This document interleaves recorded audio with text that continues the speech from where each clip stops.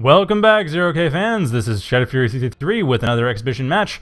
Last one for tonight is going to be Tandstickor versus kaen on Bandit Plains, one of my favorite maps, which I will go over because just in case people haven't seen it. I have shown this map fairly frequently, but it's good to be prudent. Anyway, map has a couple start good star spots for three spots here, like plus six here in the center and southeast, or to the north we have the center and northwest.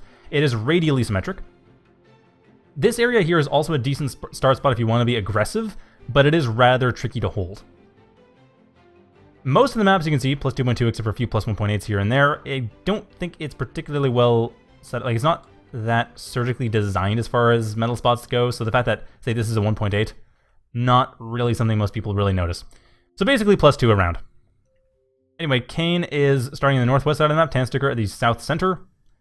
And let us begin.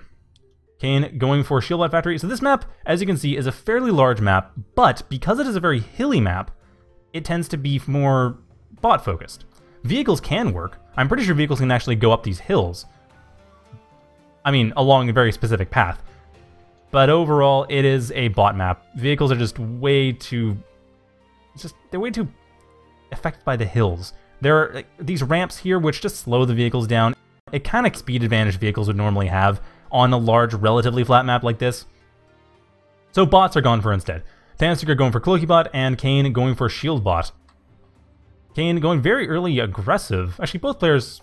No, no, no. Tandstickor went for an early Conjurer after that into Glaives, and seems to be using the Glaives primarily on defense.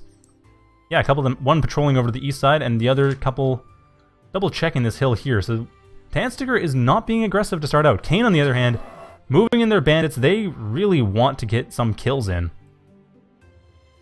Not sure how that's going to work, though. I mean, bandits, I'm pretty sure it'll work fine, because bandits are more powerful than glaives one-on-one. -on -one. For cost, it's about even, but one-on-one, -on -one, bandits will beat glaives. However, glaives get worn down slower, because glaives heal. Glaives self-heal, bandits do not. Bandits have more firepower and health, however. And Dirtbag coming in here, so kaen does know Tandstickor is going for the Cloaky bots. They know that they're going for the shield bots. And I should say Tandstickor knows kaen's going for the shield bots. And Tandstickor goes for the bandits. Sorry, kaen goes for the bandits. Tandstickor continues to go for Glaives and Conjurer. And I think... I wonder if Tandstickor's going to go... Assuming kaen's going to go for early Felon Ball? Because on a map like this, I don't see kaen going for early Felon Ball at all. And I don't think Tandstickor does either. I don't think we're going to see a Sharpshooter until the first Thug comes out. Like, once Thugs and Outlaws actually come on the field, I think that's when Tandstickor's going to go for the Sharpshooter and endgame stuff. Sometimes you do see on smaller maps like Badlands or Deadlands, mostly Deadlands, you sometimes do see very early Felon Ball. Bandit Plains is not one of those maps. This is a 16 by 16 map. It is very large. Well, for 1v1 it's very large. For team games it's small. Well, medium-sized. Yeah, this is basically about as large as they get without tricks like Onyx Cauldron where you have most of the map being unplayable cliffs. Dan Tandstickor's commander forcing away the bandits. These bandits are not a threat to that commander at all. The bandits over here, however, are a threat to the Glaives, but the Glaives are a bigger threat coming in. Tandstickor trying to make sure that they are not missing anything. Trying to take out these metal extractors, making sure that kaen has not taken them, and kaen has not. Having gone for the northwest, kaen is going to be taking this northeast side last. Tandstickor, on the other hand, they're basically acting in the way that they're assuming kaen is acting. They're projecting a bit. An interesting thing, it's always kind of good to note, I suppose. I'm not sure how often this comes up, and I'm curious what other people's opinions are on it, but I've I've been kind of thinking that the way that people will often scout reflects the way that they themselves are playing. I mean, if they know their opponent, then yeah. But if we're dealing with more of a quick matchy setup like this is, where it's just people playing in the 1v1 room, I wouldn't be surprised if if you see someone scouting in a certain direction, that you yourself should scout in the same direction because they're probably building in that direction. So if you notice, oh, they're scouting in my northeast, but I'm not building northeast. Oh, maybe they're building southwest. And that's exactly what's happening right now. I mean, the southwest is being built. It's not being well defended. There's one Lotus, which... It's okay, I guess, but not great. Overall, though, it's fairly weak. So that would be a nice target. That'd be a juicy target for kaen. kaen, however, does manage to... Oh, no, not quite. Does manage to delay this expansion. Not really stop it. Doesn't kill the Conjurer. Kills off a Glaive. But like I said, Bandits suffer from attrition more than Glaives do. Like, a single Glaive, they could just go around here forever. I actually played a game last night where I ended up doing that. like, fought off glaive after glaive after glaive with one hero glaive. That was kind of neat. It was in Iceland. Anyway, I'm not going to bother showing it, though, because it was kind of one-sided. Regardless, kaen is... And I mean, one-sided is, and I ended up winning. But I feel kind of bad, so I'm not going to show it. Tandstickor, however, is going to be slightly behind. Slightly behind economically, slightly ahead militarily. That warrior is a good defense, but kaen not going for the southwest at all. Right now, I wouldn't recommend it, though. It's way too late. It's far too late. Tandstickor is actually putting a lot more defenses than I think are probably relevant, but there it goes. Tandstickor is assuming that kaen's going to attack that particular point. And now, to be fair, it's not a bad idea to have some defenses here, but the way the map is arranged, if this were Trojan Hills, I would say this is a really good idea. But because it's Bandit Plains and this is not really much of a path, I mean, if your opponent kind of has this area contested, they might go around the back here. They might go back here, up here, and then back through here to get to the back door of your base. But if they can, it's easier just to go through here. And because kaen already has this particular ramp pretty much under their control, they can just do that. So it's not the biggest deal. But it looks like that's exactly what is doing. Tandstickor is exactly going through the back here, and then through into the back door. So Tandstickor is defending against the very thing they're doing. So once again, I mean, at the very least, in this particular case, Tandstickor is definitely leading credence to my particular hypothesis about how players play. About trying to defend the very thing that they themselves are doing. Assuming that their opponent's going to do the exact same thing they are. Which is interesting, but kaen has no idea. kaen has absolutely no idea that Tandstickor is doing this. They don't have... Do they have Raider? They don't have Raider on this area. They have no idea there is a Raider coming in. They have no idea that Tandstickor is desperately defending the southwest, forgetting the fact that kaen has control over this ramp right here, so they might as well go for the more straightforward approach. And this area is completely undefended, too. I'm a bit surprised. Because, yeah, sure, this is kind of important, but this area, this blocks both this ramp and this ramp, and to an extent, this ramp. This area here blocks all of it. And but here, the nice thing about this is that if they're going along, oh, oops, they're going along here, then you can still block it if it's in the center. Anyway, Tandstickor is going to be not doing too much here. kaen, at this point, they've taken pretty good chunk of the map.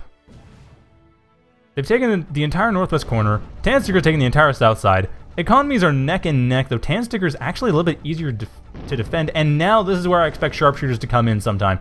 There are Rockos, there are some warriors, as there have been for a while, and Zeus, but really sharpshooters are what I expect right now. Because Thug Outlaw means felons. Well, not necessarily, not in this particular case yet, but it usually means felons. Anyway, warriors, oh man, out of position. So many of Tandstickor's forces are not in a great position. Doesn't really matter, that's just a convict, doesn't make a big difference. And the bandits, of course, just die to the warrior. So it doesn't actually pose that big of a threat, but pretty soon, kaen coming in with all of these rogues, they are going to have a fairly easy time doing this. Seriously, that metal that metal spot thing. I keep forgetting about that. Anyway, kaen is... I think... I think they're going to go for Felon Ball, probably. I mean, it looks like they're really trying to get the Thug Law Rogue first, trying to make sure that's pretty solid. And Tandstickor, assuming they're not going to go Felon, or at least assuming they can deal with it with the units they have, not going for Sharpshooter, and kaen, very well set up for defense. I mean, their commander should be able to... Yeah, it'll survive this. Stinger helps a lot, but overall, the commander should be able to retreat well enough. There are defenders. There... That Zeus... Okay, stopping that particular assault, but still, actually, this is a pretty powerful assault. Tandstickor won't be able to kill kaen's commander, but will be able to tear apart that base and will actually secure this ramp. So their previous paranoia about this particular area may in fact come to fruition, as this ramp is no longer entirely under kaen's control. And Tandstickor, on the other hand, going for a more frontal assault along here, and kaen has yet to take the northeast side of the map. They want to keep everything near their base. They're expanding out roughly in a circle around their base rather than expanding along the south side as Tandstickor has. Like Tandstickor's taken the entire south side and is expanding northward while kaen is expanding out in a circle. They do have the center, they don't have the northeast. So Tandstickor seems to be a little bit confused actually. They're continuing to scout around. They expect kaen is going to go to the northeast. But that's not where kaen's focused. kaen's all in the south. Sorry, in the center. Center and northwest. That's what kaen's trying to do. And with the Rockos coming in, along with Brawlers and no anti-air from kaen. this has not been called, so kaen has no idea this is coming. how many brawlers are there? There's one so far, and another one will be forthcoming pretty soon. Well, kaen right now, they are... They're taking a fair amount of damage, but it is neck and neck regardless. It's just a position question. Neck and neck in terms of value, but in terms of position, I mean, Tandstickor is doing pretty well. They're forcing kaen back into the base. They're forcing them back on all fronts. It's just this one Zeus is not going to be able to do too much damage. The center, however, that is going pretty evenly. kaen's coming into the bandits, but the bandits get torn apart by Rockos. The Rockos are, however, getting torn apart themselves, and the Rogues trying to do what they can. But the Thugs get torn apart by Rockos pretty easily. And this is near Tandstickor's territory, so kaen can't easily attack. kaen setting up a front line, or setting up a defensive base. Setting up some defenders. And there's... The, where's the Brawlers? There's the Brawlers! Taking out those defenders taking out those forces on the ground, and that's going to be a problem. kaen probably realizes this is going to be a problem, but this is still going to be a problem. That Brawler is a pain. So the Brawler should be able to take out these forces.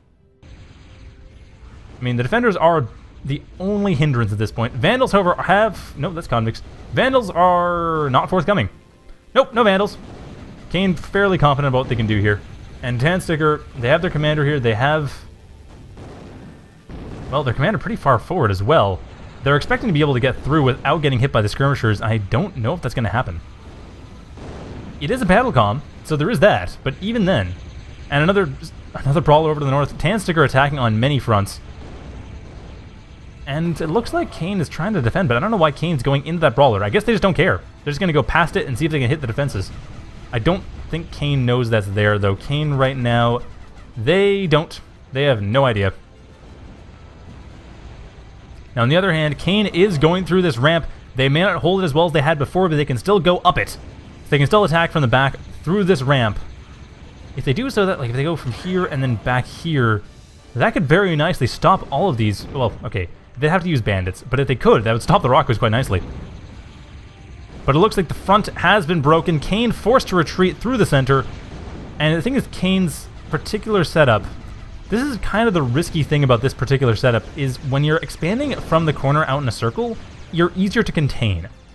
Tandstickor, on the other hand, starting from the center and going along the sides, they can't really be contained. If they lose one side, they get contained, but they lose a lot in order for that to happen, so they have they defend more.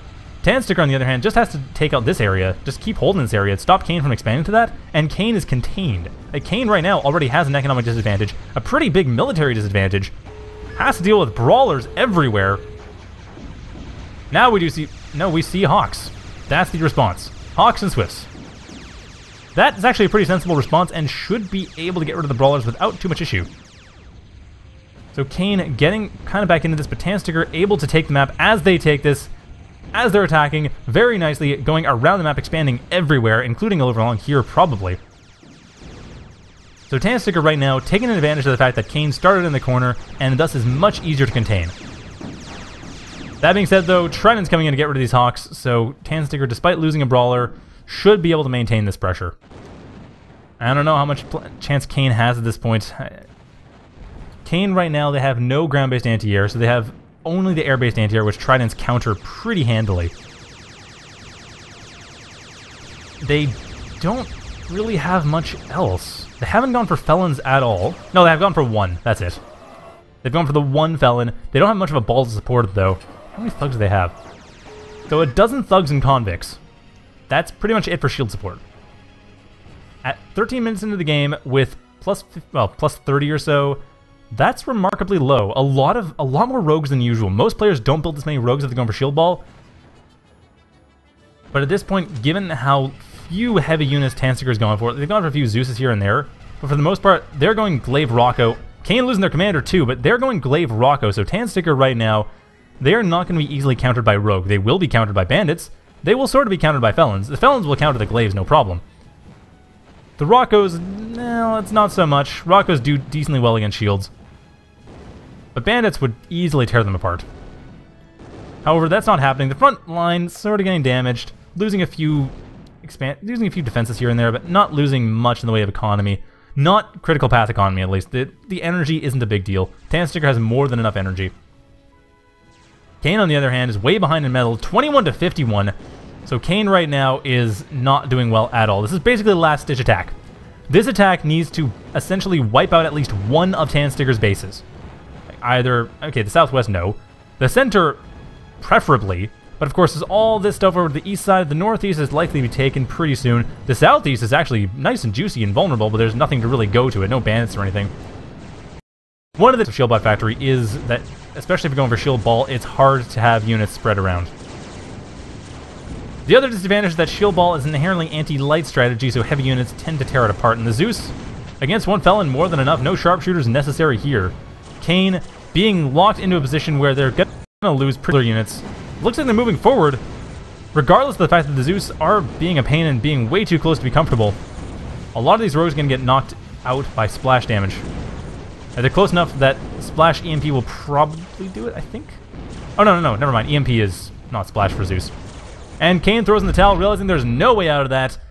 And that was corner starts. They're risky. It's really hard to pull off a corner start. I mean, like I said, they're more defensible, but they're also hard, it's harder to expand out in a way that you can't be contained.